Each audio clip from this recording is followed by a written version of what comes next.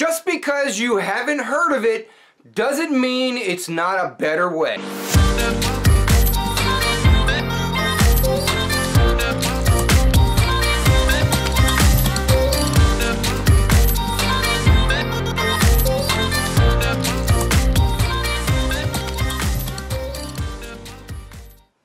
For all the close-minded nurses out there. Yes, you. I'm talking to you, the close-minded individual that thinks that your way is the only way. Or that the way that you learned in school or in whatever job you've been in that that way is the only way it can be done. Or that that way is the best way possible. This is for all the nurses out there that have worked in the big, huge educational teaching facilities and then have to matriculate into a smaller urban, rural type hospital and think that their way is the best and only way. I don't care how you people have been doing it. The way I have learned it is the way. Seriously, shut up and listen.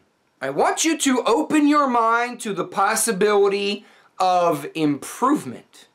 The possibility of more than one way to skin a cat. Do you seriously believe that the nursing profession hasn't evolved and changed over the past 100 years?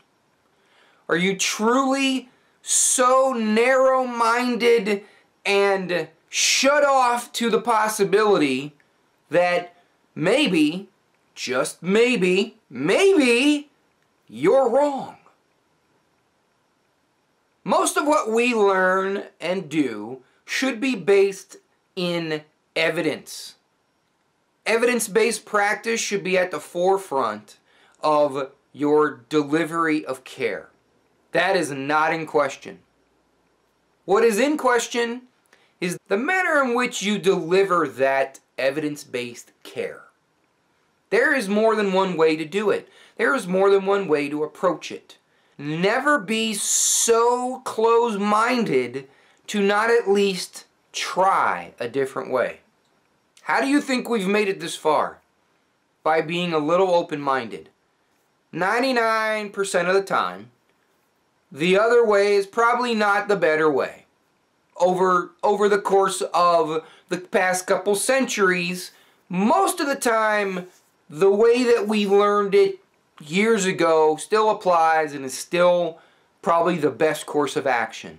But there are a handful of things out there and there are a handful of things that will continue to be out there that improve our process, that improve the way we deliver care, that improve our profession. And the only way that this profession is going to grow is if we all take a step back open up our minds to the possibility of a different way of doing things, regardless of the nurse life that we have been living. I am still a work in progress, and this is my public service announcement to everybody else out there in the nursing world to start paying attention to different ways of doing things. How many times have you come across a nurse in our profession that, for some reason, doesn't want to believe that there is a better way of doing things? Leave your comment down below, share the vlog and pass it on! And as always, check your own pulse first.